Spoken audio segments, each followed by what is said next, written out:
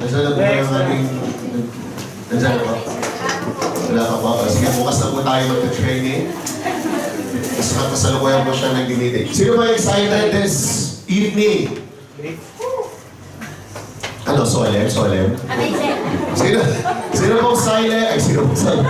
Sino pong excited this evening na matuto about leadership? Natawa ko si Pao Cortez. Sino pong excited ngayong evening na matuto about leadership?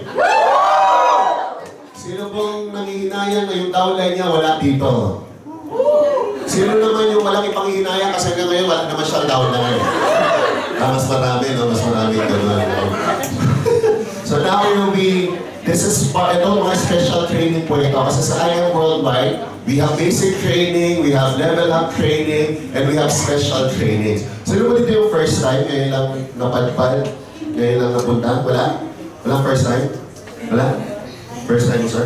Feeling first time. Sino po yung feeling first time dito? Wala naman. Uh, just to set your expectation, kailangan po yung ating training is fun. Sabi niyo, fun. Fun! Yung mas spelling ng fun? F-U-N. Ulitin natin. Fun, dapat F, dapat po meron kayong participation. Hindi, ako na lang magsasabi doon, ha? Participation. Letter U. Letter U, guaranteed naman yung speaker natin mamaya, full of humor. Kaya letter N, for sure, lahat po tayo mag-i-enjoy. So sabi mo sa katas mo yung kalang kamay mo, tapigin mo nga sa kalang mo, sabi mo, learning is fun. Kaliwa, kaliwa, kaliwa. You look so funny. Once. Twice. How do you feel? Hindi natin patatagalin kasi ako din excited to learn from this guy. Uh, ayaw nitong ipasabi pero sasabihin ko na, bata pa po ako, idol ko na po siya. No? Ah, pag ito po pinapanood ko po sa YouTube, yung pag, pag, pag nangihina po ako, pag pinapanood ko sa, sa YouTube, na-entertain ako kasi akala ko, trainer na Elvis Presley pa.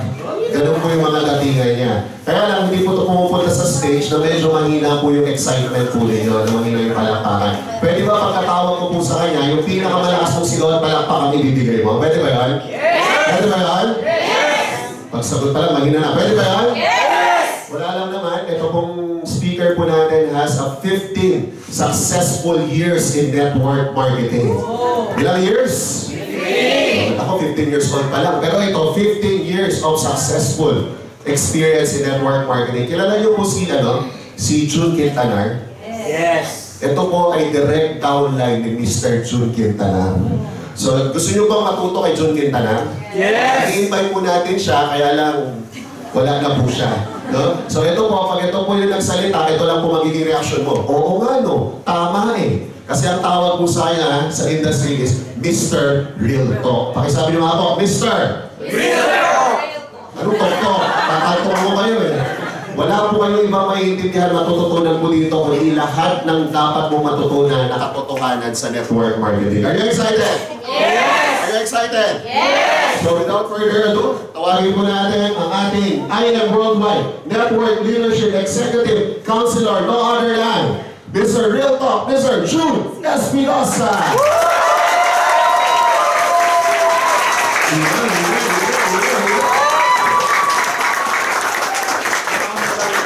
Selfie, selfie. Three seconds. Ang galing tinigil. Ito yung nakalunod na yun. Yan, ha? As mga kamay. Yun. Right. Alright, Sir June Espinosa. Bata ka pa, ha? Ay ka na utuloy. Bapa nga natin si Mr. Jonah Fernandez. Wala ka sa palakpakan. Ayun na yung palakpakan.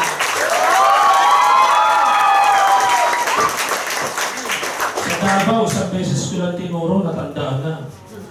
Hmm, tingnan mo yung katabi mo. Sabi mo, oo. Okay. Teka, may, may mga ano pa dito. Murahin lang natin sandali. Baka akala nyo gagamba. Bilog-bilog eh. Alright. Alright.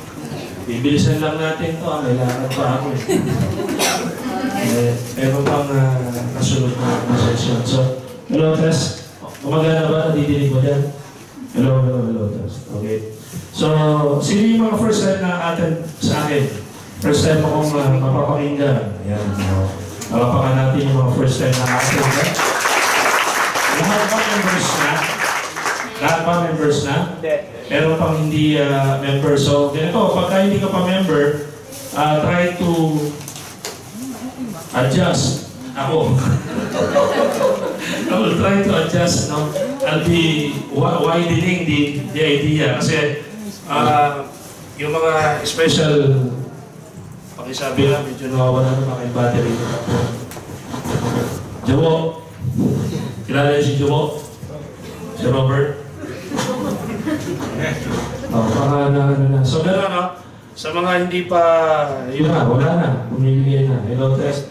Hello. Baka ba rin ba? Hindi kaya? Talagang ganyan po, nangyayari po yan pag live ang show. Magbabalik po kami, huwag po kayo naalis.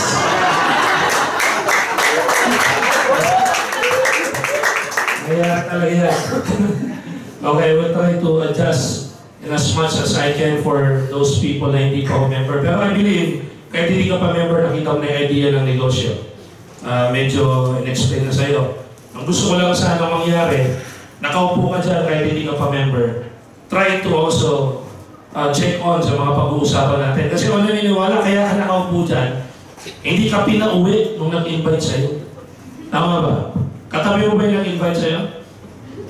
Sino yung mga hindi pa member? Pakitaas mo kami, mga hindi pa member. Sige, wag ko kayo mahiya. Yeah. Katabi niyo ba yung nag-invite sa inyo? Ayan. Okay magalala? Kasi, thank you for hello test. Yun. Yung nag-invite sa'yo kaya hindi ka pinauwi kasi mamaya magme-merienda pa kayo. Ayan, diba? Ayun, kaya pala hindi ka makauwi kasi nakakain ka na. Ganun lang yun eh. It's either before or after eh. Diba? Huwag mo tayo uwi, papakain pa to eh. Diba?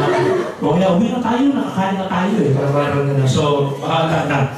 But anyway, kung nakita mo na yung negosyo, eto mga some of the steps na dapat pinagdadaanan mong understanding and learning para maging successful ka sa negosyo. Kung nakita mo yung takbo ng uh, pagkaka-explain sa'yo, isa lang naman ang bottom line yan. Kikita ka ng malaki. So, siyempre, mayroong requirement eh, may responsibility ang isang tao pagka ang, ang intensyon sa buhay ay malakihan ng mga pangarap. Hindi kasi po pwedeng uh, basta dumating sa iyo ang isang magagandang bagay at hindi handa ang isipan mo. Do you agree? Di ba parang it's ano lang yan, it's a, it's a normal law of nature. Kahit wala ka sa negosyo nito, kahit sa bahay nyo, hindi po pwedeng halimbawa, ikaw ay nakatira sa isang bahay na hindi kalakihan, walang aircon, sabihin na natin ordinaryo pamumuhay. Tapos, isang araw, umuwi ang tatay mo, may dalang 55 inches LED TV. Ano sasabihin mo sa tatay mo? Tay, ninakaw mo yan. Tama ba? Kasi tayo wala na tayong ref, tapos mag-uwi ka ng napakalaking television. So magkakaroon ka ng, ng maling pag-intindi pag hindi handa ang isipan mo sa mga ganitong klaseng usapan. Tama ba?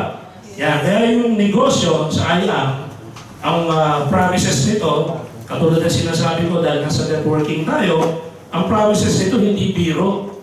Sasampulan kita ha. Sinong gusto maging multi-millionaire? Taas ang kamay. Yan. Biro ba ang pagiging milyonaryo? Hindi, hindi yan yan. Hindi yan madaling bagay. Ano? Yan ay may kaakibang na responsibilidad. Kasi hindi po pwedeng magkaroon ka ng maraming pera na hindi handa ang isipan mo at puso mo. Parang bibigyan ka ng sample ha. Maraming tao sa labas. Maraming tao sa labas. Pag tinanong mo kung gusto magnegosyo, ang sagot ano palagi? Oo, tama ba? Pero bakit walang negosyo? Ha? Walang pera. Hindi ako naniniwala dyan. That's precisely my point. Walang tao sa labas na nakakausap mo ha. Siguro yung- kasi kahit taong grasa may pera eh. Bata nga may pera, lalo na pag Pasko, talo pa tayo eh. Nakala ba? Anong point ko? We're not talking about amount. We're talking about the tool, which is money. Babalik ko lang yung tanong. When, when you ask people, gusto bang maging negosyante, ano sinasagot? Oo, pero pag tinanong mo, ba't wala kang negosyo? Ang lagi sinasagot, dahil walang puhunan, walang pera. Hindi yan ang totoong dahilan. Tandaan nyo na ito, para sa mga taong kinakausap nyo. Kailangan kasi naiintindihan mo yung kausap mo eh. Pag nagre-record ka more often than not, kaya ka rejected, hindi mo naiintindihan yung kausap mo. Kasi pag sinabi mo, magnegosyo ka, wala akong pera eh. Ano nakakasunod na sasabihin mo? Tutulungan kita. Mga ganyan, mali ka agad. Hindi ho pera ang problema ng isang taong gustong magnegosyo pero hindi makapagsimula. Hindi ho pera. Alam niyo kung anong pinaka-problema talaga? Idea. Wala siyang alam na negosyo. Ako maniniwala kayo, nakahawak na kayo ng 5,000. Yes. Pera yan. Tama ba? Nakahawak na kayo 10,000. Pero bakit hindi makapagnegosyo? Kasi walang idea, walang alam. Kasi kung sa 500 pesos may negosyo. Bumili ka ng tatlong garapong malalaki ng mayonnaise ng Ladies Choice, yung malalaking garapon. Yung wala ng laman. Hugasan mo. Bumili ka ng 10 pisong stick, bamboo stick. Bumili ka ng 2 kilo manggang maasim. Manggang ah, yung hilaw. Hiwain mo. Ha? 30 pesos na bagong, igisa mo. Oh, limandaan, puhunan, may pwesto ka, mangga. Negosyo yun. Tama ba? So, large-scale business, we're talking about hundreds of thousands. Mas lalo na. Ngayon, kung ang puhunan mo 50,000, hindi ka mag-iisip ng mga negosyo lang kasi sandang libo ang, ang puhunan. So, dapat nagtutugma eh. Pero kadalasan, kahit may pera ka, di ba? Ang dami ng kwento, nanalo sa loto. Ilang milyones ang na, napanalunan. Sobra pa sa isang daang milyon. Pero pag binalikan after two years, ano istorya nung nanalo sa loto? Mahirap na ulit. Kasi kahit gaano kalaki ang perang pumasok sa iyo, pero kung wala kang paglalaanan, mawawala yan. Kasi hindi ko talaga pera ang problema, negosyo. Kaya kung napag-aralan nyo sa, sa tinuturo naman yan sa economics, ano, yung tinatawag na feasibility studies, ano yung una? Di ba? Costing, bago pinoproblema yung pera. Kasi pag hawak mo ang pera, gumawa ka ng costing, dinadaya mo negosyo mo. Kasi i-base mo doon sa kasya lang. Eh, halimbawa, ang kailangang, ang kailangang burner, eh, dalawa, sasabihin mo isa lang. Yung iba, kailangan ng puhunan, beef. Di, wag na. Di naman nila malalaman kung beef yan o baboy. Baboy na lang. Kasi binibase sa budget. That's wrong. So dapat mag-costing ka pag lumabas yung yung tamang gastos at saka mo problemahin yung puhunan. Kaya ako nauso ang loan sa bangko. Kakausapin ka muna ng bangko. Anong negosyo ba alam mo? Pakita mo feasibility studies mo.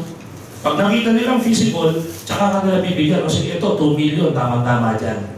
So, alisin natin sa idea na, bakit ko sinimula ng ganito? Para sa mga non-members, kasi ang pag-uusapan dito, pagyaman mo. Kaya dapat ready ka sa mga ganitong klaseng pag-uusap. Sinulit yung mga hindi member, taas ang ano. Pakititigan yung mabuti yan, ha? Kasi after 2 months, 3 months, 6 months, may mga kulay na buhok niya, nagpapaklo na yan, naiiba na ito. Siyempre, kung kumikita ka ng 10,000, 20, 50,000 per week, mababagubuhay mo talaga. Tama ba? At ikaw na ang bida sa pamilya nyo. Sigurado ikaw na ang bida, pag uwi mo, anong tanong ni nanay pag wala kang inaabot? Umuwi ka pa. Di ba? Ganun, ganun eh, no? Di ba? Pag late ka umuwi, ano sabihin mo? Ah, hindi concern sa'yo yan. Pero pag may inaabot ka, aalis ka pa lang, ano tanong, anong oras ka babalik? Hindi ka pa nakakaalis, pinababalik ka na eh. Tama ba? Pero kung wala kang inaabot sa mga magulang mo, paalis ka pa lang, parang ang hangin na dumaan. Hindi ko na lahat, pero 90% eh. Kultura ng Pilipino yan. Hindi ko na lahat, ha?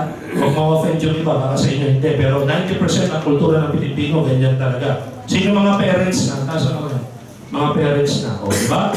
Buti may mga parents dito kasi mas masaya pa ang parent eh, mas maraming ipon. Tama? Para magaang ang, ang mundo. Sino yung mga buhay pa, mga magulang, nasa nga ngayon, mga buhay pa. Yan, di ba?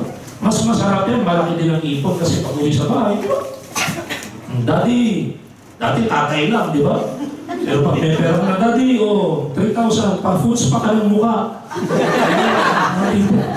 At least mababagawa ang buhay. Okay ba yun? Now, isa pang i-ready natin sa mga members at sa mga non-members, pag ginagawa mo na ang negosyo ng IAM, networking po ito. At pag networking, siguradong milyon-milyon ang kikitain mo kung masipag ka talaga dito. Kasi yun ang dinidikta ng sistema. Katulad ng sinabi ni John there, I've been with the business for 15 years. And may mga pinagdaanan din akong katulad ng pinagdadaanan nyo nung nagsimula. Hindi naman pagpasok ko, kinabukasan, milyonaryo ako kagad eh. Hindi naman ganon. Tama ba? Kadalasan lang na pag-uusapan ngayon, yung finished product na, yung tapos na pelikula. Pero ako, tandang-tanda ko, yung day one, kung paano ko sinuting yung pelikula. Katulad nung na-invite ako, pinatend ako ng training, sumablay ako sa unang invite, sumablay din ako sa pag-record, lahat yan. Pinagdala na, tanong na din ako sa sarili ko kung talagang ako ba ay para sa networking.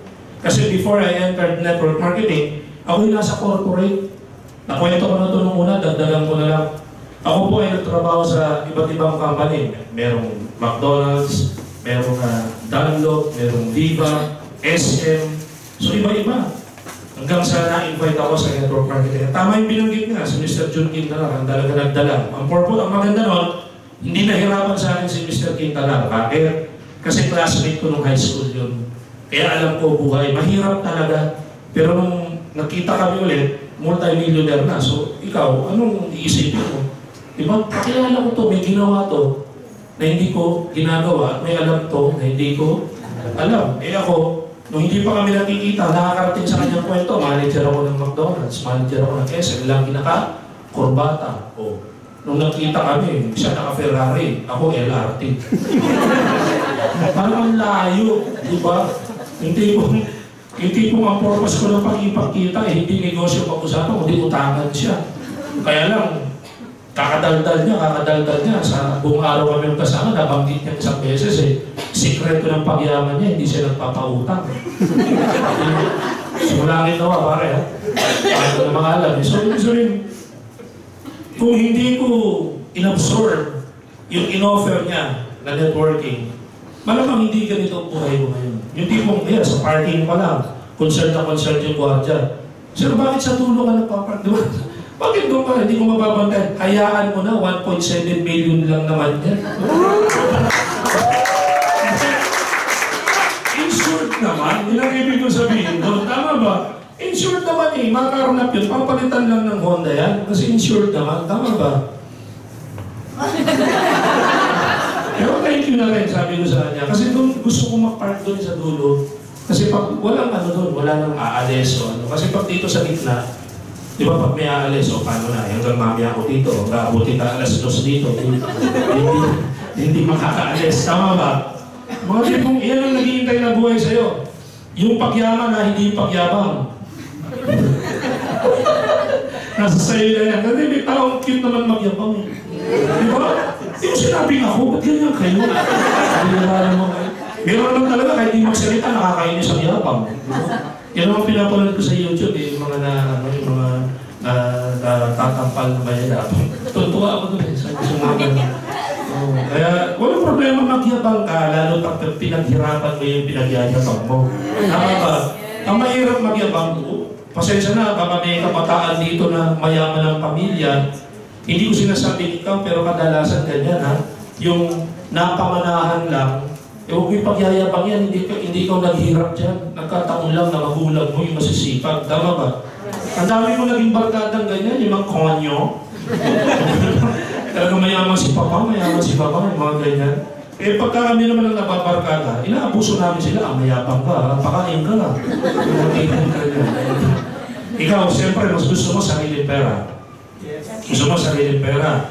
Sino gusto magkaroon ng savings sa bangko by the millions na hindi, hindi ginagalaw sa kamay? Yan, yung tipong kukulitin ka ng bangko, bawasan mo to siya. Kasi mamamani laundering ka, yung mga tipong gano'n, uy, kayo on the way kayo dyan. Kaya dapat medyo nagbabawas-bawas eh. Kasi pag may 500,000, pataas ka sa bangko, naka, nasa listahan ka na kaagad ng ano yan, ng money laundering uh, something, eh, eh, grupo na yan. ano. Tapos chinecheck ng mga in and out ng pera niya. Kaya maghahanda kayo. Ang hirap ng mayaman, ano? Makainis. Sino gusto maganda ng sarili? Bayan lupa. Nasa, yan. Travel abroad for free. Yan. di ba? Sasakyan. Plural. Di ba? Lalo sa Maynila, no? necessity. Nung araw, naalala ko ang sasakyan. Luxury yan. Tama? Mga mayayaman lang talaga. Ang motor nun, ang inabot ko, 80s, yung uncle kong bumbero, bumili ng motor, sikat doon sa lugar namin. Kasi ang motor nun, cash ang bilihan. Hindi ka tulad ngayon, mag-down ka lang ng 1.5, may motor ka na. Kaya daming ayayapon sa kalsada, akala mo mag binayaran ng buo. Tapos nagmamonthly ng, magkano bang, ano, 2.5. Ha? 2.5. 2.5, di ba? Nag-down ng 1.5, monthly ng 2.5. Pahirap eh, no? Hindi, hindi pa progress eh. Pahirap yung gusto mangyari sa buhay. Imagine mo, nakipong ka, 1.5 down. Oh, mas malaki na ang problema mo next month. 2.5 na. Tapos sa sweldo mo, 10,000. Paano pa pamilya mo? Ha? Saan matutulog sa motor? oh, no offense man, baka may nakamotor dito. Ako yung dati yung nagmotor, ha? Pero cash ko binili. Diba? Mumura-mura lang naman, mumura. Yung BMW na 360. Tapos pinalagyan ko lang ng sidecar. Kaya bigla, kaya pa na yun. Dito na tayo. Ang ganda pa naman ng topic, respeto. Baka mawala ang respeto mo sa akin. Diba? So kanina pinag-usapan natin, you have to be ready. Dahil pag nasa networking ka, katulad ng IAM, ha, six months lang, napatunayan. May nag-milyonaryo. May kumikita ng 100,000 pataas buwan Tapos nagkaroon ng mga sa sakyan. So, proven yung sistema sa IAM with network marketing na talagang pag ginawa mo ng seryoso yung negosyo, talagang kaangat at angat ang buhay mo. Now, maraming requirement. One is leadership. Kasi dito magtatayo ka ng organization mo. You better understand this sa maagang pag-iisip mo pa lamang sa network marketing. Hindi ka pumasok dito. Oo, pumasok ka bilang distributor. Magiging member ka ng company, magiging member ka ng isang group. Pero it doesn't end there. Hindi natatapos doon na ikaw ay habang buhay na pag sinabing member lang, ganun lang. Hindi. Darating ang time, kailangan mo humakbang. You have to level up. You have to stand on your own. You have to to be uh, known for for something and that requires yung tinatawag nating leadership. Kasi mag-create ka ng team eh, mag-create ka ng group eh. Hindi naman po pwedeng grupo na walang leader. Di ba? Then again, don't get me wrong. Hindi ko sinabing leader ka, ikaw yung boss ng grupo. Hindi ganun yun. Iba ang boss sa leader. Magkaiba yun. Ha? Ang, pagka, ang leadership na, even without your presence, aandar yan eh. Ang isang kumpanya, pag boss ang sinusunod, pag absent ang boss, magulo na. Pero ang isang organization, pag pinatatakbo ng isang leader na magandang leadership, even without your presence, aandar yan. Pero may mga aspeto nga yan para mandar. Now, bakit po sinabi yung leadership is the core of respect? Kasi ito ang gusto kong maging mo. Even you have your millions already, magandang bahay, ah, income, pasok ng pasok, magandang sasakyan, mawawala kasi lahat yan eh kung hindi mo madedevelop. Kasi dito ka papunta eh, papunta ka sa pagiging mayaman, papunta ka sa pagiging uh, milyonaryo. Tataas ang estado mo sa buhay. Kultura ko ng Pilipino, pag may pera, bida. Aminin natin sa hindi. Tama ba? Pag may pera, laging bida yan. So, medyo naglalaro ang, ah, ang buhay natin sa pwede kang mapasama, pwedeng mapabuti. Ngayon dito, sa kultura na gagawin natin sa IAM, hanggang maaga pa, six months pa lamang, ang mga leader dito, i-ready na natin ang puso at isipan. Na kailangan yumayaman ka dito and people will respect you. Now, maraming aspeto para ma-earn at makuha mo ang respect. Marami yan. Kaya lang sa negosyo natin, ito yung pinaka magbibigay sa'yo. Leadership. It's not your cheque. Kasi kung cheque, dapat yun ang nakalagay dyan. Your cheque is the core of respect. Tama ba? Hindi. Hindi. Di ba? Ang magbibigay sa'yo talaga ng respeto ay yung leadership na ibibigay mo rin sa mga tao. Tandaan mo to ha. Kasi baka sabihin mo, mga tao ko, mga taong pumasok sa hindi. Ang tao ko dyan, mga taong naniwala sa'yo. Kaya leadership mo. Dito ka magsisimula, dito ka rin matatapos. Di ba? Even, even in politics, in governance, abroad in Philippines, dito nagsimula ang kagandang, dito rin nagtatapos. So dito, we hope na pag nasimulan ng leadership, tuloy-tuloy in gaining all your goals. Mga dreams mo, makuha mo plus, mabigyan ka ng tamang respeto. Ito ba hinihingi? Ano na to, di ba? Alam na alam nyo na yan. Ang respeto, hindi hinihingi. Wini-win mo yan. Kailangan ipapanalo mo yan. Or ine-earn mo yan. Tama ba? Ulitin ko ha, hanggang ngayon pa lang, how I wish I'm talking to more, more, more leaders no? para magkaroon tayo ng mas uh, pagkakaintindihan. In gaining respect, leadership ang kailangan mo, hindi yung resulta. Resulta is just part para ma-respeto ka, pero hindi yun ang pinaka-core. Ang core is leadership. Kasi huwag niyong pangarapin na kaya lang ah, feeling niyo kayo ay respeto dahil maganda ang check-in ninyo.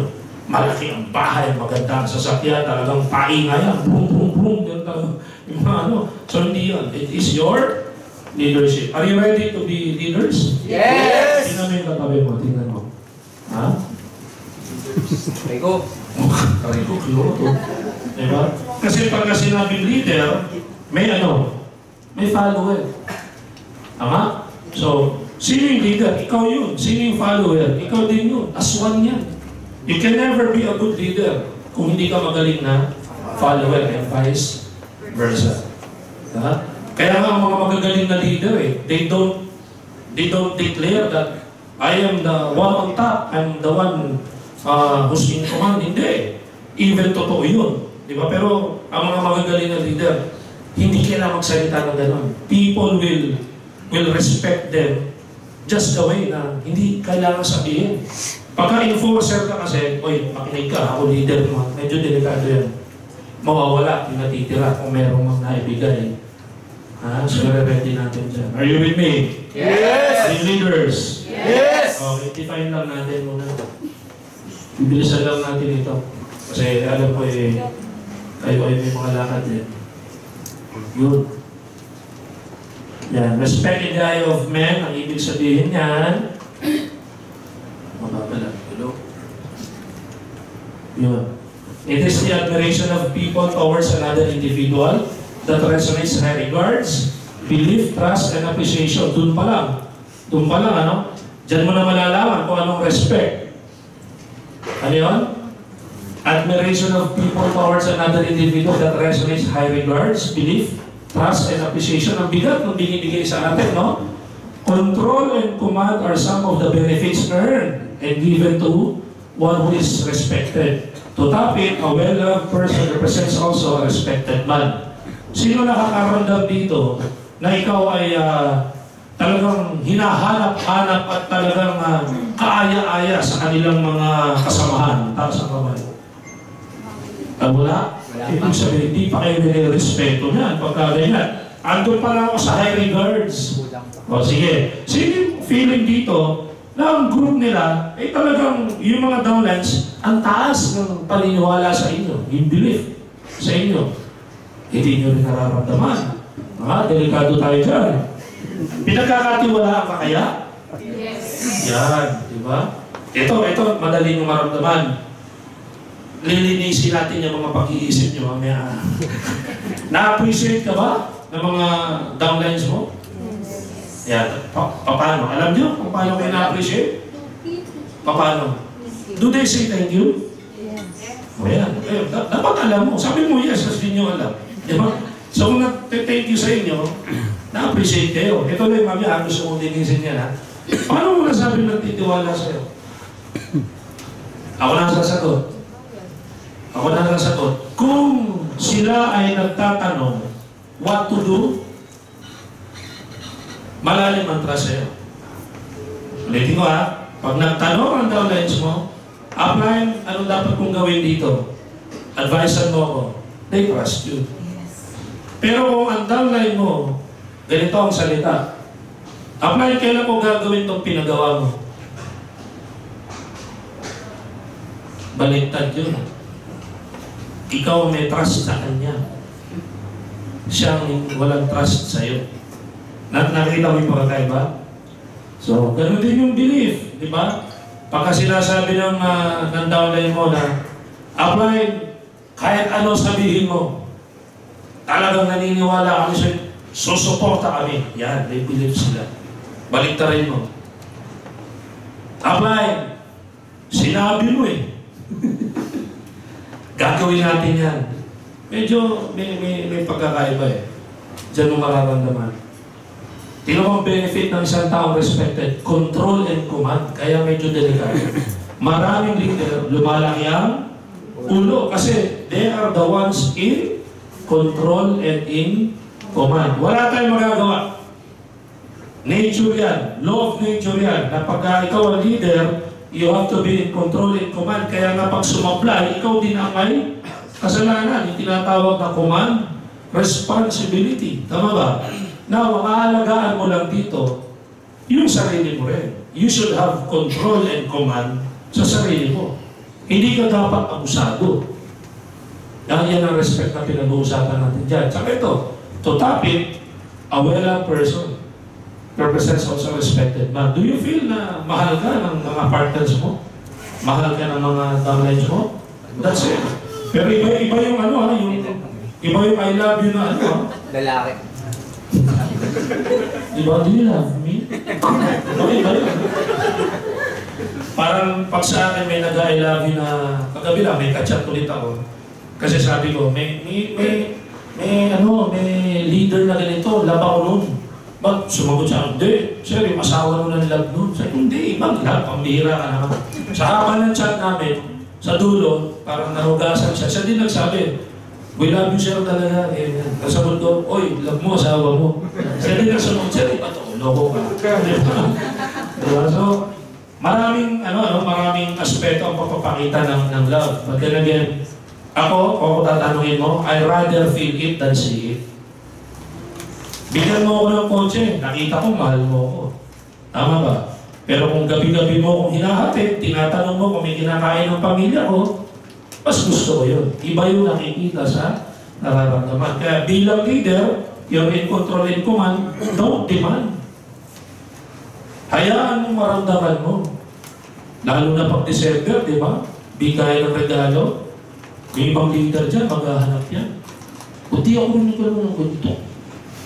Di ba? Huwag mong, huwag mong ano, huwag mong intayin. Kasi ang love, mas magandang nararamdaman kaysa sa nakikita. Gusto, gusto mong kontrolin ko man? Ikaw, na leader. Kaya kailangan kontrolin mo yung sarili mo. Are you with me? Yes. Okay, so tara tayo. Yan. Leaders must build and sustain commitment to gain respect. Nandito na tayo, bibigyan ko lang yun ng tatlong, ah, tatlong idea para mas ma-develop nyo yung, yung respect. One is, kailangan mag-build ka at mag-sustain ng commitment. Ano ba yan?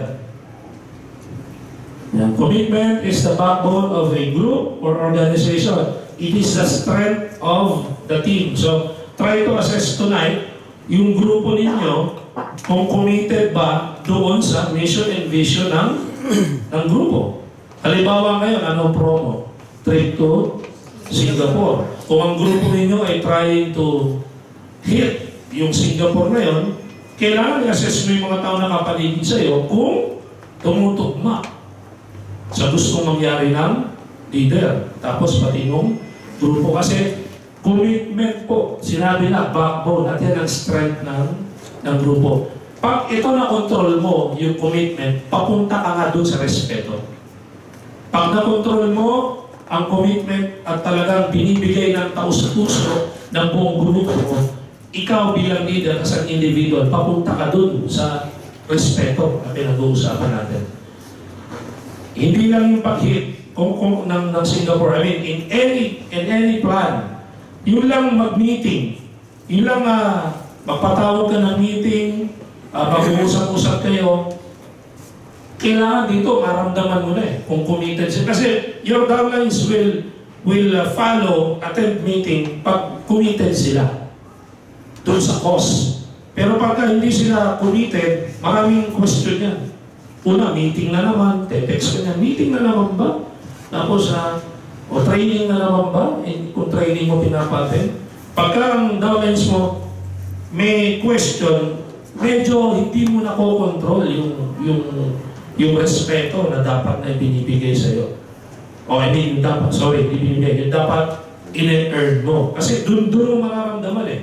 Pero ikaw, pagka may ganun, since you know you're the leader, you're the one in control and command, hindi mo yun gagamitin against dun sa sa tao. Tanda mo to ha, hindi yun ang gagamitin against kasi yun na nga yung issue ninyo eh.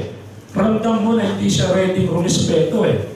Kasi pag nagpatawag ka ng meeting, may mga elements yan, tulad ng time. Tama ba?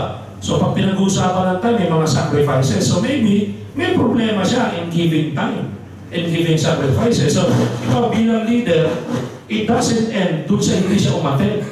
Dapat alamin mo, leader ka eh. Baka may pinanggagalingan, may problema. Natandaan mo ha, walang taong identical.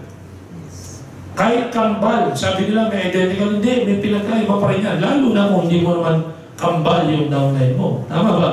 So maaaring yung pula sa kanya, eh green sa'yo. Pwedeng ganun eh. So kailangan identify mo para magkaroon ka ng control. And kung baka may problema eh, in giving time. Lalo kaya hindi makaten. Baka naman may problema sa bahay, may problema sa pamilya, na na-judge mo kagad na ano, mukhang ano to ah, taliwa sa akin. So ikaw ang sumisira doon sa dapat ma-earn mong respeto. Are you with me? Always remember, ah, commitment is the strength. Kaya try to be sure na ang mga downlines nyo are committed doon sa cause. Kung ang cause ninyo ay i-hit ang Singapore, dapat committed lahat. Kung ang cause nyo, magkakotse si ganito, magka-income ng ganito, dapat tugma. Kailangan committed. Committed dapat sa company, committed sa produkto, committed sa marketing plan, committed sa grupo ninyo. Kasi pag hindi na-build at hindi na-sustain ang commitment, walang strength ang grupo. Shaky yan. Shaky. Kaya always remind them of their role. Ang kanilang commitment. Huwag tayo lumayo sa pag-aasawa na lang. Bakit tumatagal ang ano, ang samahan? Bakit sumasaya? Sumasaya, tumatagal ang samahan. Ano ang uh, gitna nila? Yung commitment nila sa isa't isa. I don't know kung may iba pang aspeto. Siyempre, given factor yung may Diyos. given factor yung may kabuhayan. And then again, it boils down to commitment ng isa sa isa. Kung kinasal, ano pinangako dyan? I'll be, I'll be with you till death do us part. Di ba sabi pa nga, pagka sa hirap at ginhawa. Di ba? Yung iba gusto sa ginhawa ginhawa lang. Di ba? Sa hirap-hirap, ikaw na lang. Parang, parang gano'n eh. So patay ang commitment doon. Gano'n din sa sa networking, sa grupo ninyo.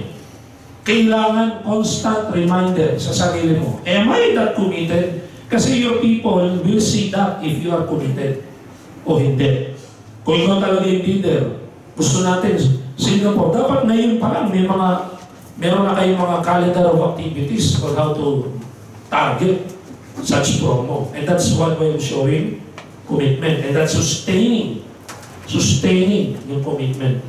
Yung pag-build eh, start lang yan eh, pero yung pagsusustain ng commitment. Always talk about commitment ng bawat isa para solid yung inyong grupo. Di ba? People who are committed are those who don't quit easily. Do you agree? Yes. Huh? People who are committed are those willing to learn, follow, and cooperate. Tingnan mo yung katabi mo, tingnan mo. Ikaw yan, ikaw yan, sabihin mo. Sabi niya, hindi eh, parang hindi na ako yung pangalawa eh. Ikaw, willing to learn, pinilit mo lang ako umatid eh.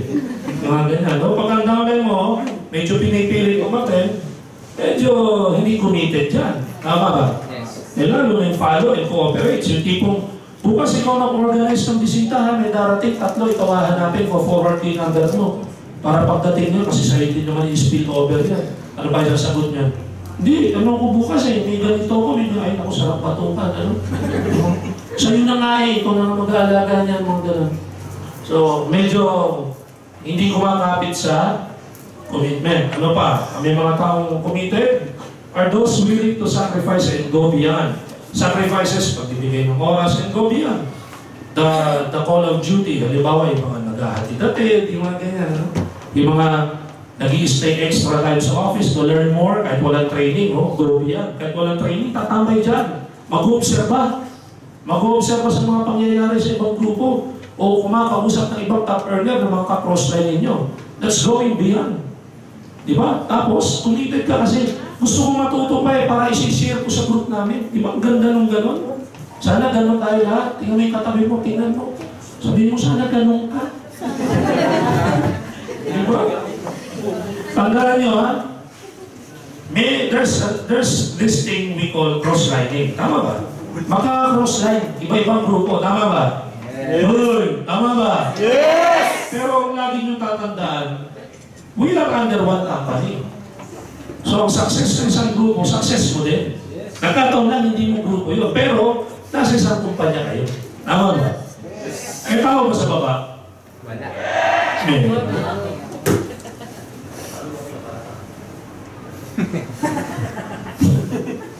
Marami kayo dyan? Ba? Ang lakas na siguro mukhang talo yung nasa taas. Papatalo ba kayo? Hindi! Oo. Lusog yun ito. Thank you ah. Mamaya bababa din ako dyan. So, naintindihan, ano? Ano pa?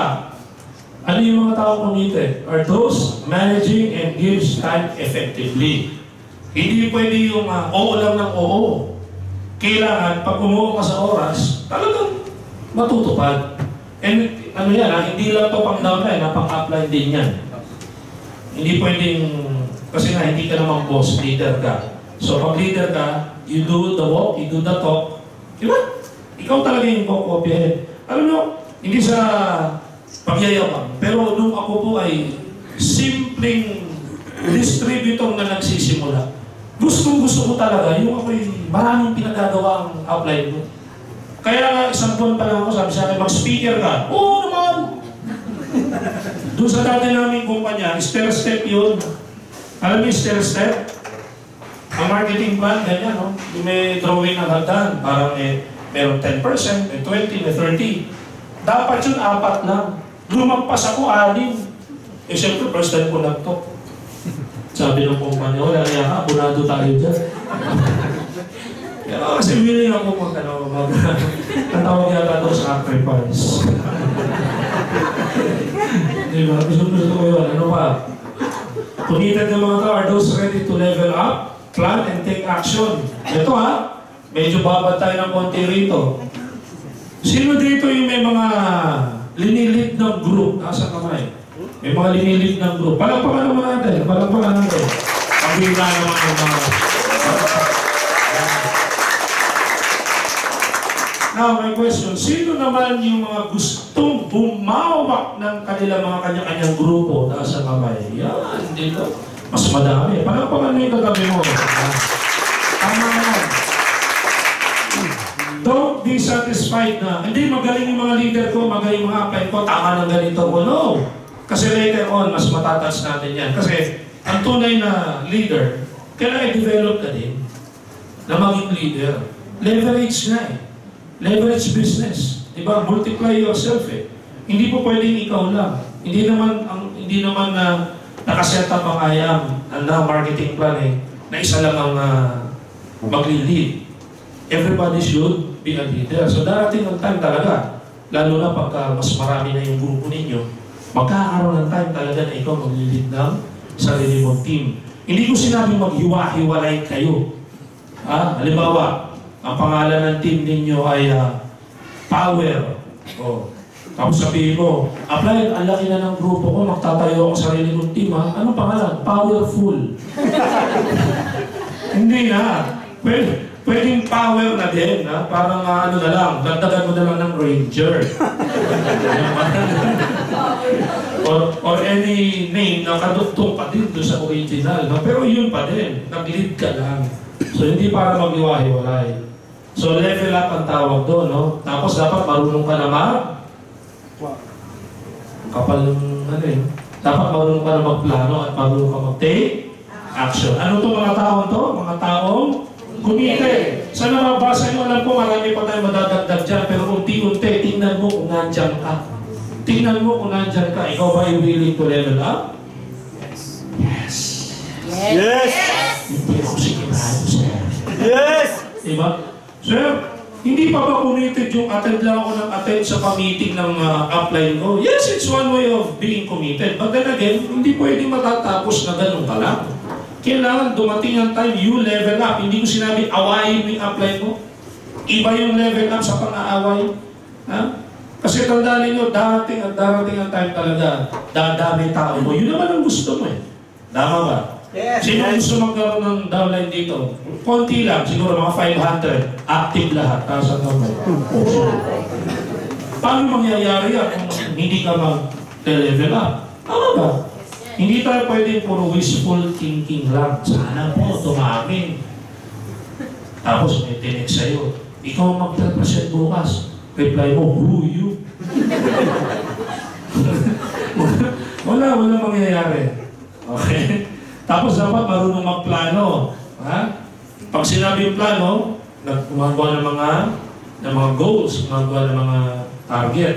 At syempre, nagte-take action. Ano pa?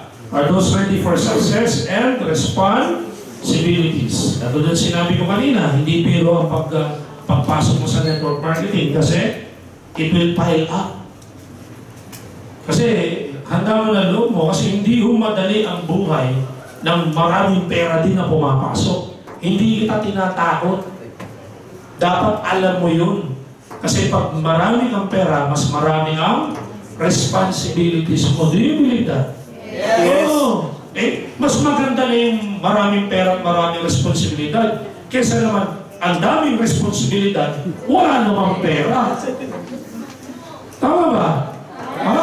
Ako nakaka-relate ako dyan, hindi pa ako networker. Meron akong responsibilidad, nanay ko. Dahil tatay ko, maagang na maalam. Wala akong kapatid, nag-iisang anak. Tapos, mother mo, alam nga namang may sakit na nanay mo, pagtrabahuhin mo pa. So, responsibilidad mo yun. Ang mahirap, wala naman akong pang-fulfill ng responsibilidad.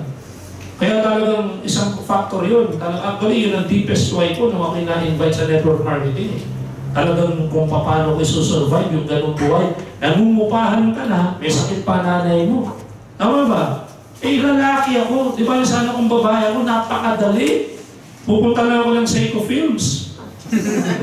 Di ba? Magpapakita lang ako ng ng balikat, pwede na. Eh, lalaki ka eh. Hindi naman ganun kadali pag lalaki. Kailangan kayo kalabaw talaga. Tama ba? Kaya nung ma-invite sa networking, oh, wala sabi nung apply ko.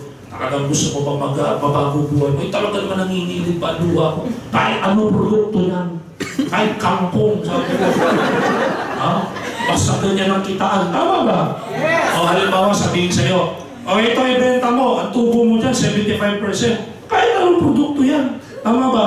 Kahit postiso ng lola mo yan. Talagang, lola, bebenta ko to. Malaking tubo rito. Tama ba? Kaya hindi, hindi po pwede eh. Kasi, grabe, may ginto sa gitna. Ah, kaya mga taong committed, yung mga ready for success. Hindi mo po pwede, hindi ka ready. Don't commit pag hindi ka ready doon sa resulta. Sasabihin lang daw ng apply mo, oh, bukas kailangan apat ang invited mo. Dahil pag nag-join yan, ito ang mangyayari sa structure, ito kikitain mo. Nangyayari? Yes. Oh, ano sasabihin mo, yes, gagawin ko yan. Bago ka umuo na gagawin yan, dapat ready ka doon sa resulta. Kasi doon sa kikitain mo, mababago na buhay mo. Ito pa epekto niyan. Pag nagdala ng dalawa yan, ito, ganyan. Kaya hindi po pwedeng hindi ka ready.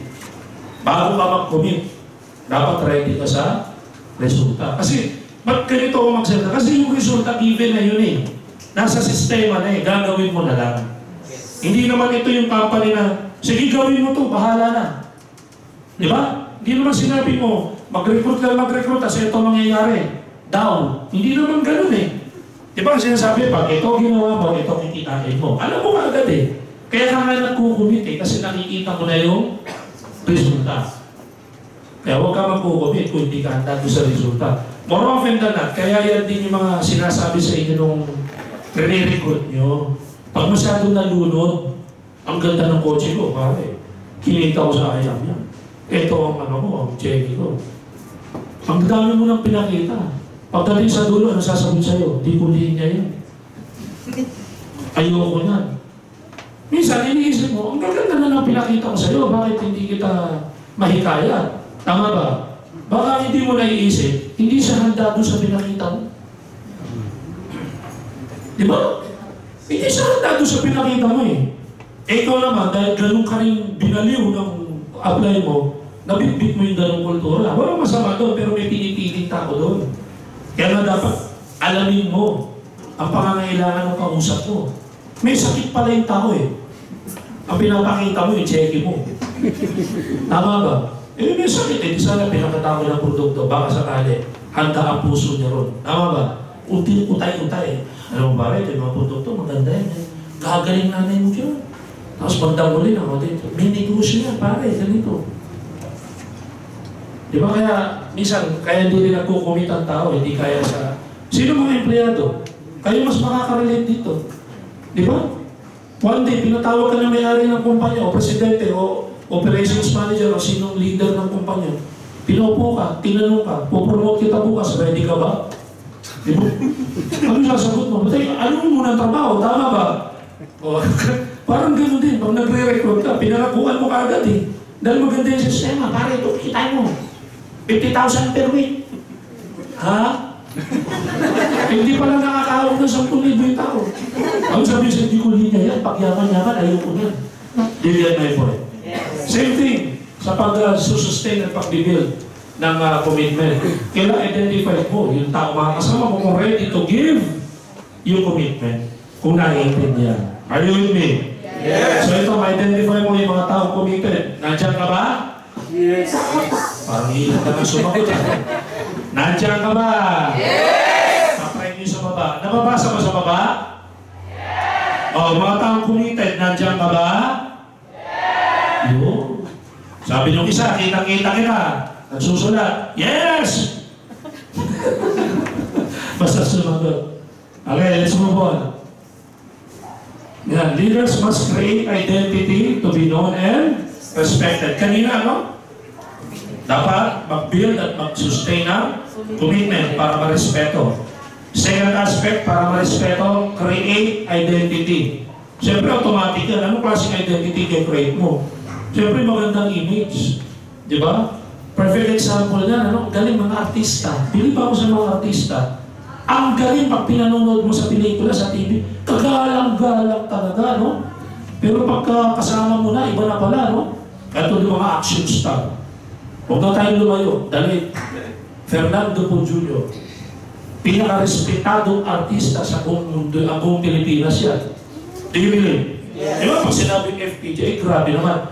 Pero kita mo, nung tumakbong ah, presidente, ang daming lumalabas ng mga kwento na ganit negative ang ugali. Di ba? So, hindi, hindi mo maano. Pero sabi ko nga, kung ikaw tunay na sinasabuhay mo yung mga bagay na ire-respeto ka, ah, parang ang hirap i ano sa tao eh. Parang ang, ang hirap i ipakilala yung sarili mo na yun ka talaga. Artista, medyo maintindihan mo kasi nasa TV. Tsaka papangit na nakapaligid eh. Alam mo, kontrabida yung mga nakapaligid eh. Pero sa totoong buhay, hindi naman batayan ang, ang itsura. Kaya tayo, no, law of nature, no, kultura ng Pilipino, pag nakakita ng pangit, hindi na kaagad ka respeto eh. Bakit ganun? No? Pagka nakakita ng hindi naman ang tingin agad kriminal eh. Totoo, totoo. Di ba? Di ba? Kaya, magkikreate, sorry ah, pero talagang pagka hindi, ano ba tawag doon? Preference. Yan, ha, magandang word na yan. Pag hindi mo preference yung itsura, yung tao, ramdam niya, hirap na hirap siya mag-create ng identity niya para sa'yo. Halimbawa, bisita mo sa bahay, first time dumating, hindi ka agandahan ng itsura. Ano pakiramdam niya? Pag tinignan mo siyang tumayo, pag nagpaalam, sisiyar lang po ha. Ah, doon ha. Doon lang ha. Di ba parang pag, ang pakiramdam nila agad, pinanonood mo sila. Parang may gagawin hindi maganda. Sa trabaho, ganyan din. Pag nag apply sino naka-experience magbasa ng classified ads? O ano nakalagay? With pleasing personality. Kala ko dati yung pleasing personality, yung ano, yung tao madaling utusan eh. Kasi mahilig sa please. Di ba yung pala pleasing personality, kailangan may preference ka, di ba? Maputi, matangong ka, eh, wala eh. Yan ang maganda sa network marketing. Tama ba? Yan ang maganda sa, sa IAM. Walang, meron pa sa registration form nakalagay, kailangan pleasing personality ka. Di ba? To earn 150,000 per week, wala. So kahit ano itsura, pwede. So dito, ano ba yan? Leaders must create identity to be known and respected. May mga group names, di ba? May mga group names ka. That's one way of uh, putting up an identity. Ano yung mga group names? Suave. Ha? Suave. Suave? Eagles! O, Eagles. Ano ba? You breathe. Yung breed. Diamond. Diamond. Ano ba? MVP. M MVP. Abundance. Abundance. Ano ba? Ha? Phoenix. Phoenix. Colossal. Colossal. Dito yan ha. Dito yung mga pinagsasabi niya ha. Hindi NBA yan ha. Tulog NBA na eh. Dito yan ha. Ano pa? Ano pa? Lumos Delos. Looms. Amen. Latin eh. no? Ano pa? Conquerors. Di ba? Napansin niyo yung mga pangalan parang may distinction. Yung identity ka agad, di ba? Tulad Eagle. Pag sinabing Eagle, ano mo ka agad? Leader, di ba? Conquerors. Grabe. Di ba? Ano pa? Falcons. Falcons. Ha? Elite. Elite. O, di ba? Sa Davao, Eagle. Eagle daw sila eh. Eagles Alliance. Oo, ganun talaga sa Davao. Walang pakialaman. Kung sanay na ako doon, ang hotel ko doon, Pinnacle Hotel eh. Madalas kong ginagamit. Pero pag nag-taxi ako doon, bro, Pinnacle. Sa Pinnacle. ano pa? Ano pa magandang pangalan? Kung ano ba bibigyan ka ng team ngayon, ano gusto mo pangalan? Sige, ano? Dragon, wow. Iba, iba. Ano, putiki, langgam. Diba? Ants. Diba? Pwede yung ants, lagyan mo lang ng acronym, diba? Oh. Pero more than, more than, more than the group name, identity, individual, di ba? Parang napakagaling gumawa ng identity. Robin Padilla, naalala niyo?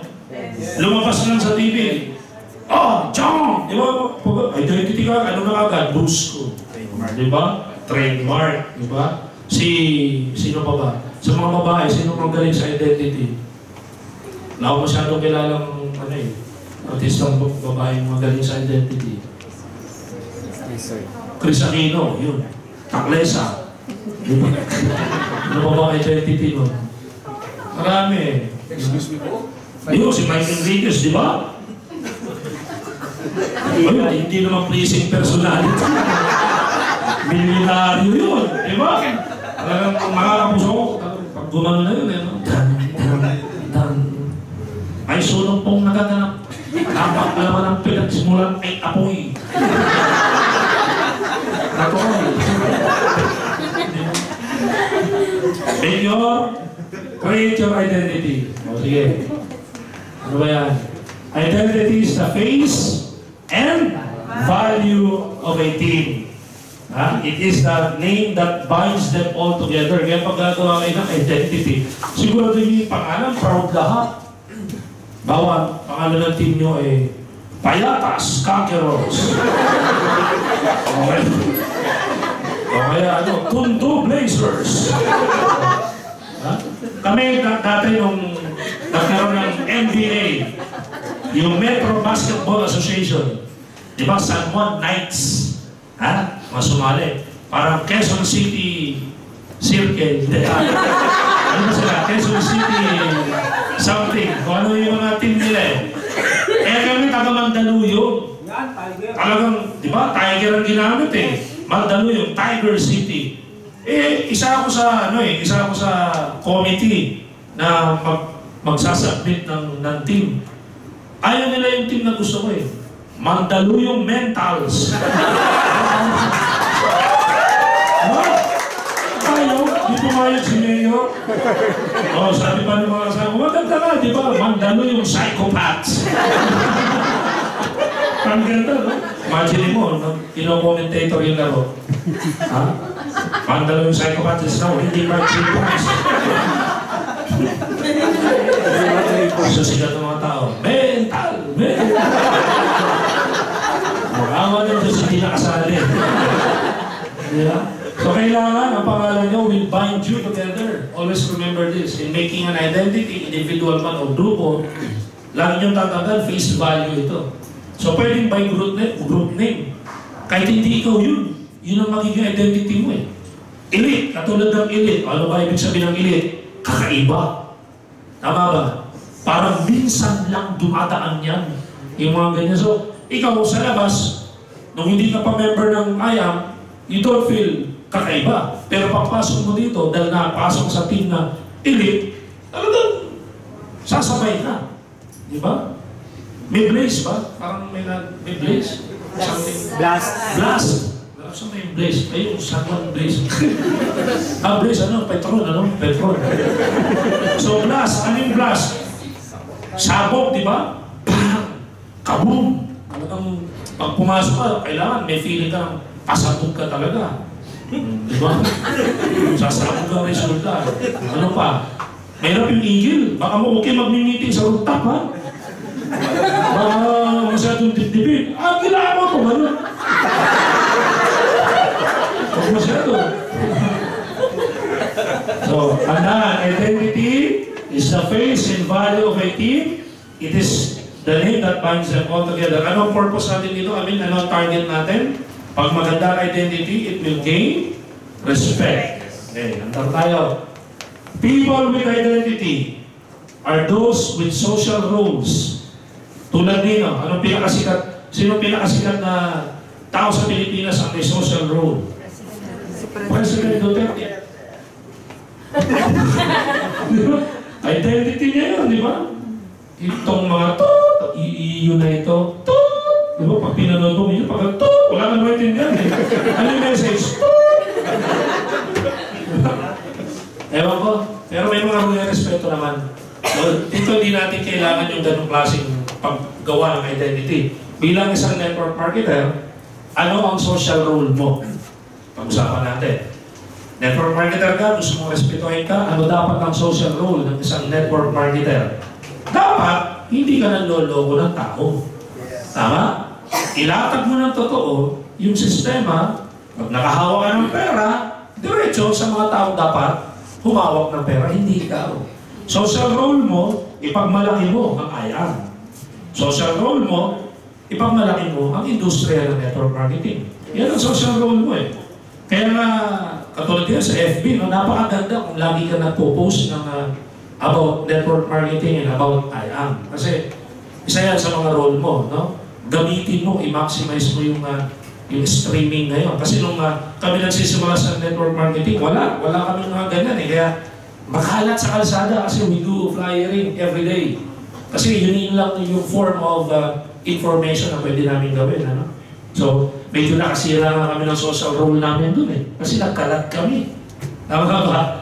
So, dito, bilang network marketer, marami kang social role. And one, one and two na top, eh yung huwag magloko. Tama? Kasi, ito na yung ano, ito na yung uh, uh, bread and butter mo. So, dapat totoo ka dito. Uh, dapat paglabanan mo yung tukso ng uh, pag nakakakita ng uh, makapal-kapal na pera. Huwag ka nang gumaya doon sa mga dating mga naging kasalanan ng mga networker. Ano yun? Yung hindi nagre-remit ng pay-in. Yung mga ninanakaw ang mga accounts. Yung mga produkto na dapat sa downline, inuuwi nila para sila magbenta. Yung mga ganyan. Dapat hindi na mangyari yan kasi bilang networker, you have this social role na pag nakita ka, networker ka, dapat ang i- tinatransfer mong information sa mga tao, this is a career na talagang pwede mong ipagmalaki.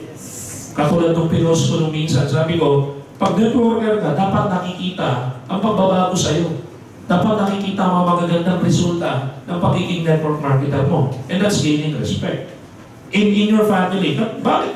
Ngayon, siguro iba sila nagpo-question, bakit ba kailangan i-gain natin o ma-earn natin ang respeto? Lalo na sa aspeto na to, no? Bilang isang network marketer, mataas po kasi ang ano, ang ah, ang ah, hinihinging demand sa atin para ipagmalaki mo at para irespeto ka sa network marketing. Why? Kasi hindi ito traditional na kitaan. Tama ba? Hindi sa traditional na negosyo.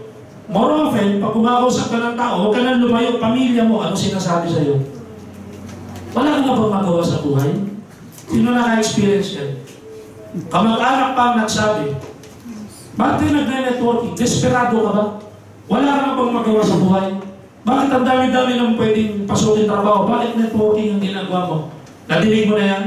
Kung hindi man sa'yo, nadinig mo na sa ibang tao. Yun ang punto. Kaya kailangan marespeto ka. Paano ka marirespeto? Siyempre, towards the it will be the result. But then again, this is the elements para mabuo yung respeto. Gumawa ka ng identity. Pag umuwi ka sa lugar ninyo, sa locality nyo, dapat formado ka. Dignified ka. Sorry, kung di mo kayang pigilan, pasensya na pero I have to say this. You have to drop bad habits. Kung ikaw mahilig tumambay, makipag-inuman sa kalsada, hindi maganda nakikita sa networker yan. Kasi you're creating an identity na hindi career. You're creating an, an, an, an identity na pariwara. Ayaw natin sabihin, oh, ba't ganyan ang buhay niyan? Networker kasi, pangit. Di ba mas masarap gawing pag-usapan ka ng mga kapitbahay, ang galing ng anak mo, na para-renovate yung kalahati ng bahay nyo. Ano sabi ng nanay mo? Networker eh. Hindi yung identity. Sige, tuloy mo.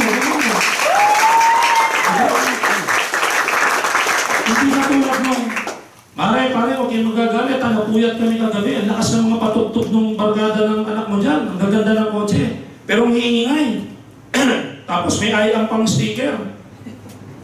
Ano sabi ng nanay? Networker eh. so, pwede rin negative. Tama ba? So, ano ang ang gusto natin parating? Kailangan ang identity mo comes along with social responsibilities. Yes, ma'am. Pay ako tubig.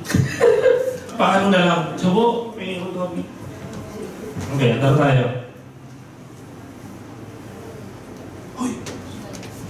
Are those with belief and confidence? Kanino? Kanino dapat naniniwala? Sarili. Sa Diyos muna. Kung naniniwala sa Diyos, sa sarili at mayroong confidence. May ano na? Papakita ko lang. Pag-sabi tayo. Huwag na ka mo juice tubig lang. May tao ba? Hindi, ako na, ako na, ako na. Ko na eh. Hindi na, ako na, ako na. Dito ka. Diba? Kailangan ang mga taong may identity, may paniniwala sa Diyos, sa sarili, sa mga taong napapaligiran, sa taong nakakasama.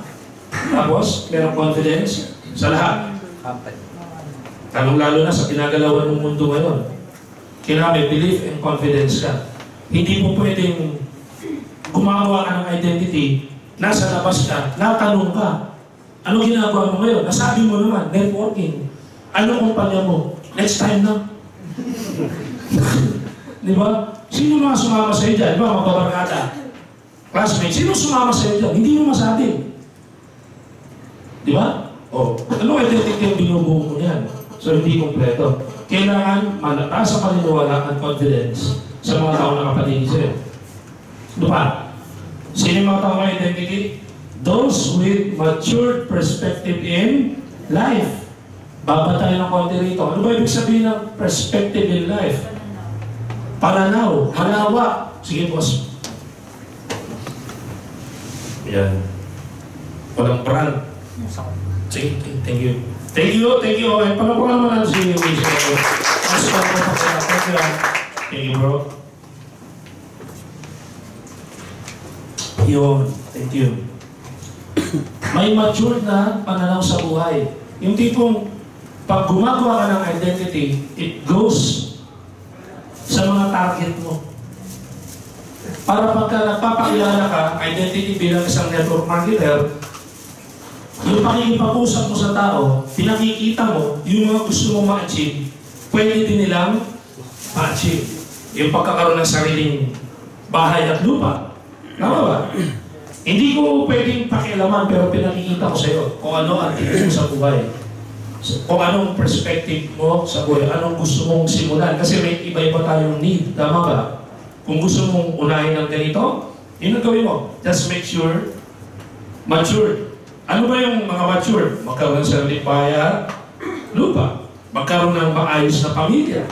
Mature dyan. Mai, maitira mo ng maayos ang mga mahal sa buhay. Magkaroon ng savings ng, ng milyon. Makapag-travel abroad.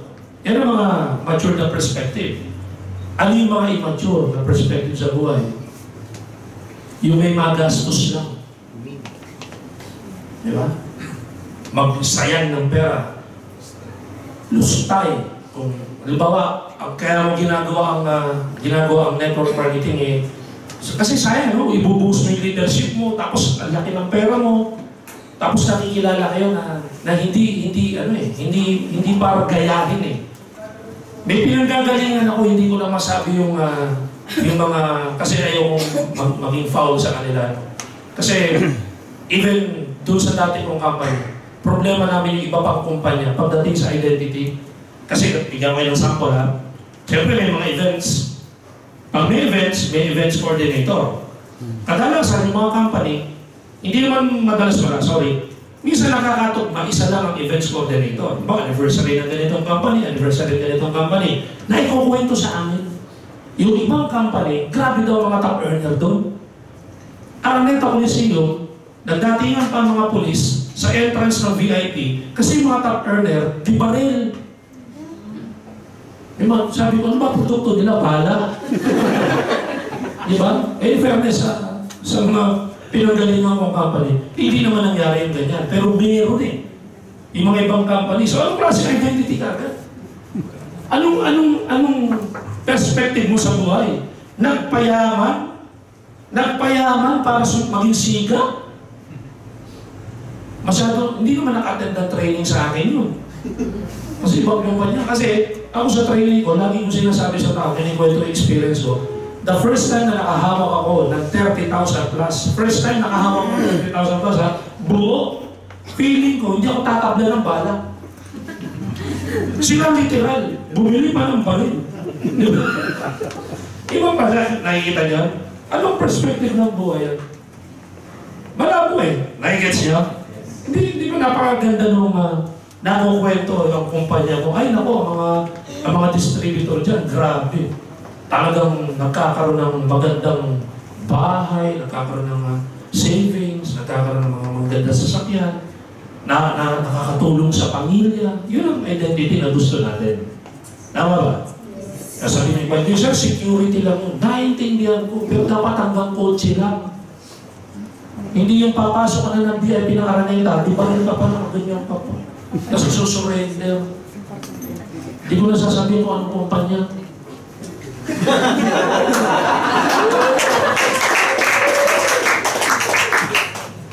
May sinabi ba ako? Ano mo Wala kayo? Oo. Buti na lang tubig, no? Hindi ako mahilig sa soft drinks eh, lalo na yung true orange. Hindi na gets. Ano tayo? Ayos ba tayo sa baba? Uy, may tao pa. Thank you. Okay. So, andar tayo. Ang mga taong may magandang identity are those with idealism and advocacy. Diba? Siyempre, idealism medyo malalim ng usapan, pero something you believe in, gusto mong ipaglaban. So dito kung gusto mong ipaglaban ay yung katulad ng gusto mong ipaglaban nung ako'y naging network marketer, maganda, share ko lang. May nagtanong kasi sa akin, magaling kang empleyado, ang dami mong award, totoo yun. Ang certificate ko sa school, yung apat na diploma lang. Yung kinder, yung grade 6, high school, tsaka college. Pero ang aking certificate po bilang empleyado for 14 years, I have 17 certificates. Nandun yung best ganito, ganyan, di ba? Di ba kaya sinasabi sa mga kaibigan ko, ang galing mong empleyado, ang galing mong manager ng McDonald's International ka pa. Tapos networking ang uh, pinasok mo. Kasi ang idealism ko, nung pumasok ko sa networking, simple lang. Kasama ng perspective ko sa buhay. Sabi ko, pinaglalaban ko, gusto ko lang putulin ang tanikala ng kahirapan na ipinamana ng lolo ko sa tatay ko at ang plano pang ipamana sa akin. Simple. Yun ang idealismo ko. Ngayon, kung sasama ka sa akin, sigurado mapuputol din ang tanikala ng kahirapan na minana mo sa tatay mo. Tama ba? Oh, kaya ikaw nakaupo ngayon dyan. Ay, ano ang idealismo mo? Simple lang, ayoko namang sumikat eh. Oh, di ba? Putulin ang tanikala.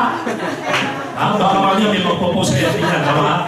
Putulin ang tanikala ng kahirapan na minana sa lolo mo, ng tatay mo, at lalo pang ipamana sa'yo. Yung maglalagay dyan, sabihin mo, tingnan mo. Ah, ano?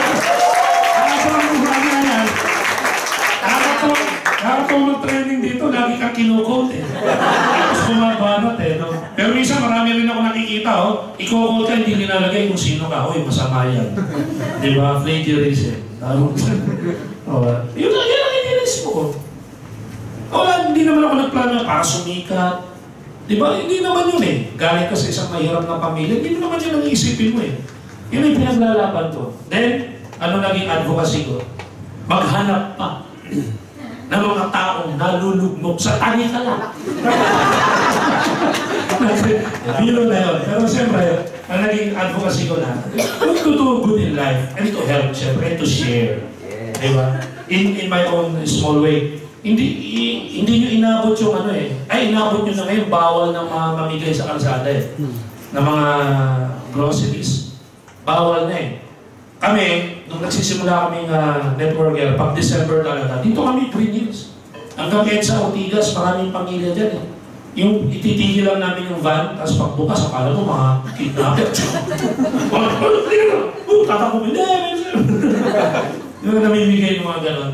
Yun, yung, yun ang kasama sa naging advocacy namin. Kasi sa maliit na bagay, di ba? Pwede nga pinuro niya namin mga t-shirt na nabibili sa Divisoria, tapos pamimigay mo sa kalsada.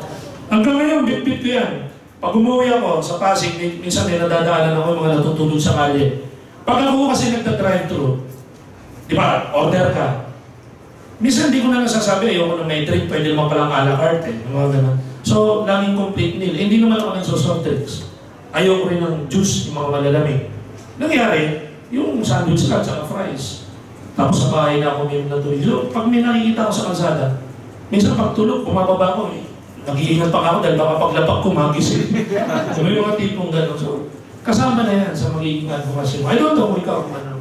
Yes. But that's building your identity. Are you with me? Yes. Are you learning? Yes. Sabi ka tabi mo, mo. Sabihin mo, simula ngayon. Magbabago na ako. Putulin ang kanila. Kaya na, ang mga tao may magandang identity are those who wanted to develop the life of others. Plain and simple, self-explanatory. Huwag ka mag-networking na ang tingin mo, ikaw lang ang yayaman. Huwag ka mag-networking na ang target mo ay para sa ilang. Hindi pwede. Kailangan ang identity mo, kilala ka na millionaire maker. Pag sinabi millionaire maker yan, anong dating no? Wow, ang dami nang nasuportahan yan. Ang dami nang naturuan, ang dami nang natulungan. Dapat ganun ka. Ha? Andiyan ba mga apply? Mga taas na, taas na, taas ang mga appliance. Taas. O, asan mga downlines? Taas ang mga. O, titi- tingnan yung apply mo, tingnan mo. Sabi mo dapat ganyan ka. ha?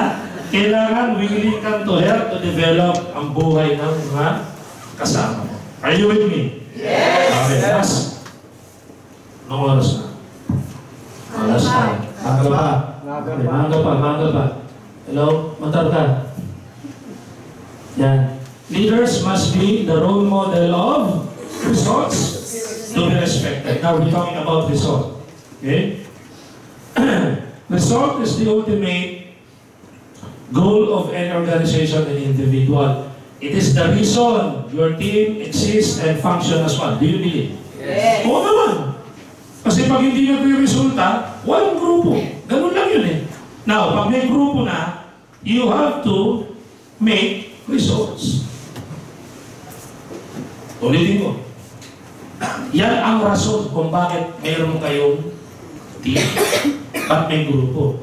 Kaya huwag kayong papaya individually na hindi na re-resulta. At dapat ang tumatakbo sa isip nyo, ang resulta ng isa ay panalo ng lahat. Ganun ang, ang ano, ang uh, pag pagtingin sa ganyan. So ano yun, sino yung mga taong result-oriented? Are those hungry for change? Dapat uhaw ka sa pagbabago. Hindi yung sumali ka na excite ka lang. Sumali ka kasi masaya lang. Di, bakit ka sumali dyan? Sinakaya mo sa kotse. Ang lamig sa loob. Ang tulin. Ang bango. Di ba? Hindi pwede. Kailangan, pag tinanong ka, bakit ka sumali dyan? Kasi, dito na mapuputo lang. Yun ang pinakaano dyan eh. Di ba? You're ready for change. O ngayon, paano kung mayaman naman? So, iba naman ang change na gusto niyan. Oh, bakit ka nag-networking? Ba't ka sumali dyan? Eh, mayaman ka pa dyan sa nag-recruit sa'yo. Pwede nangyari? Ano kaya yung change ang gusto nun? Personal change. Gusto niya, gusto ko magkaroon ng sarili kong pera. Di ba? Kasi baka allowance lang niya yung binibigay. Di ba? So maraming klase ang pwedeng ano. Pero dapat, if you want, kung result-oriented ka, dapat uhaw ka sa pagbabago. Okay, handa.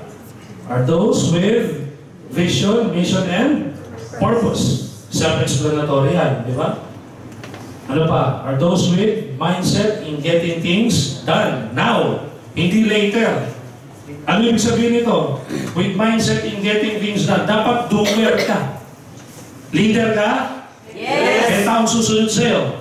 Yes. Pero bago sumunod ang tao, dapat nakita sa iyo. Dapat doer ka. Dapat doer ka. Kasi hindi po pwedeng nagre-resulta ang downlines mo, ikaw hindi. Dapat ikaw nagre-resulta. Kasama sila. Sino man mas mataas ang resulta sa inyo, dapat parehong may resulta.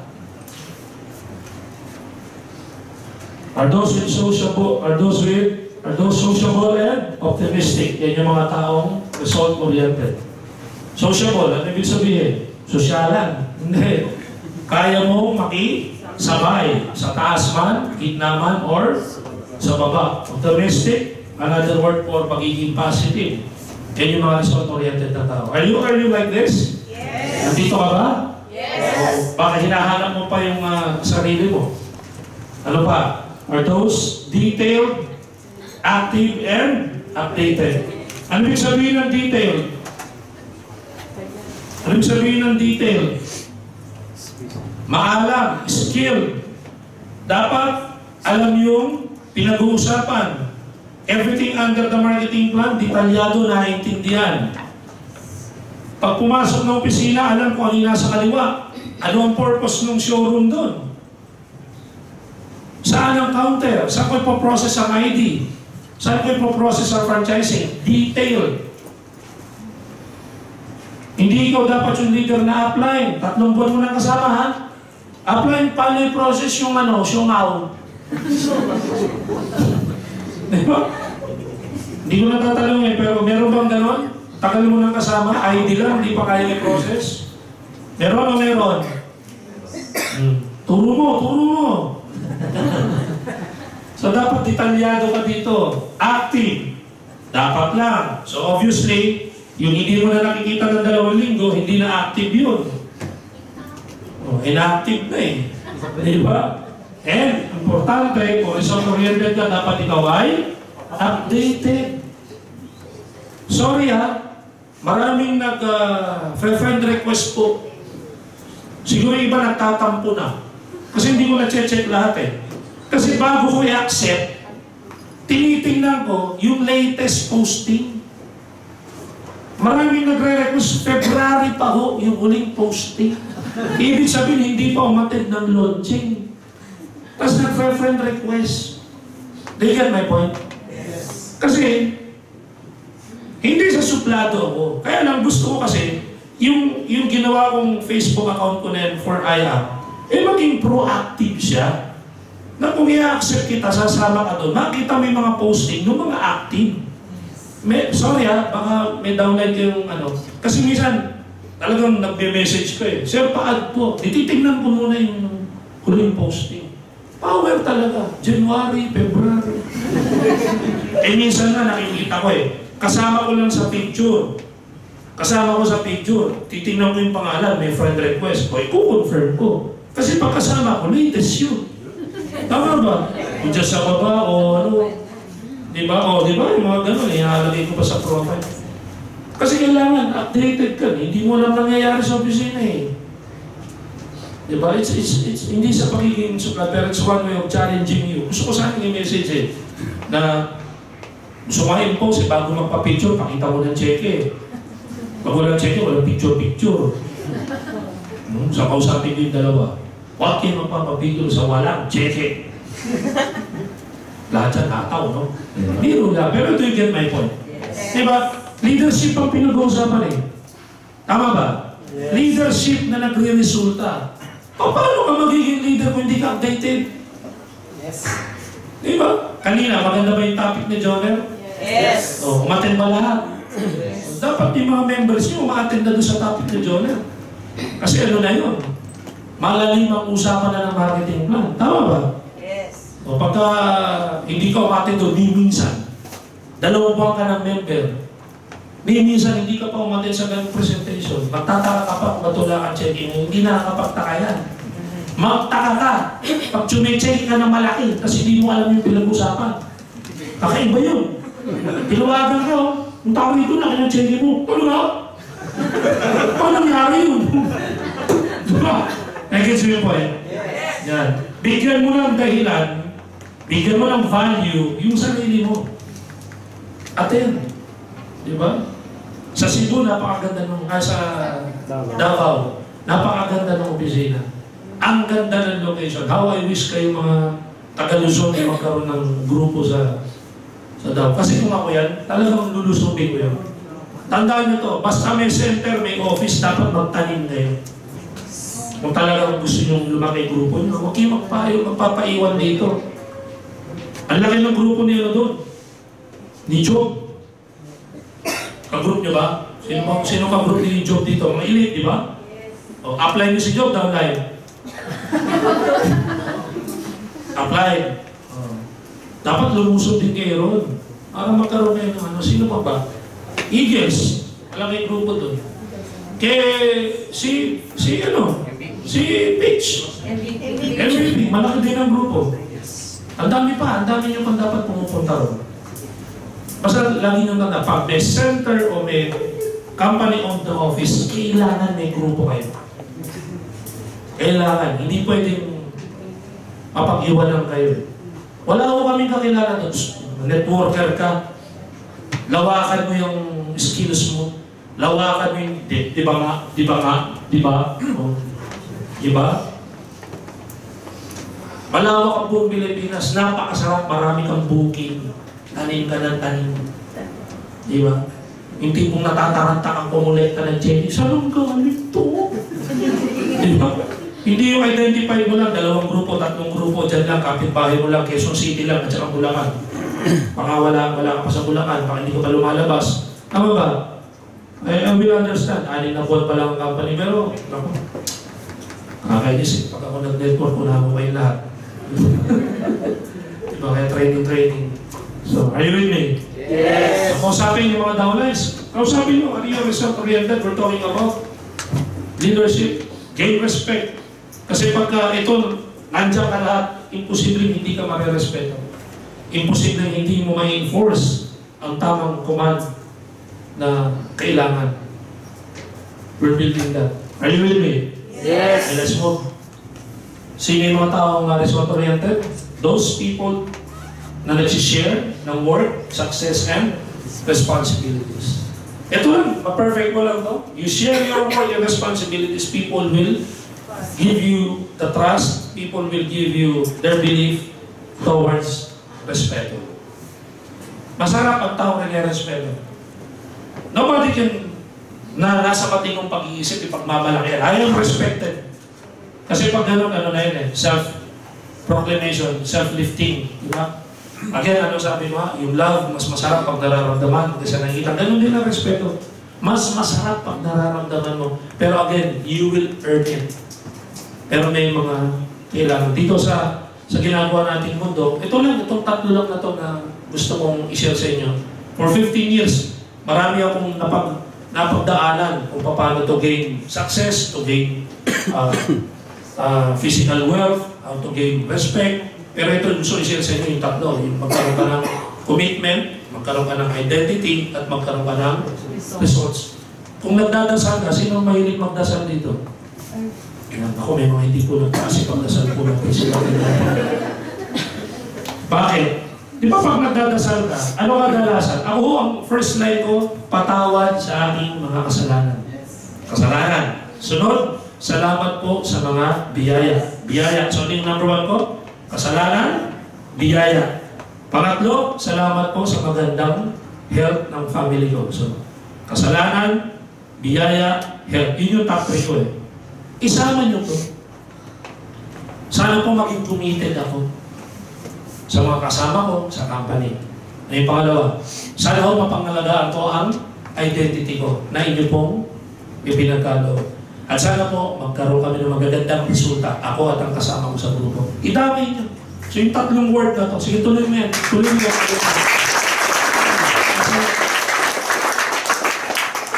Isama mo yung tatlo, huwag mo na idagdag na para po respetuhin ako. Hindi ganoon.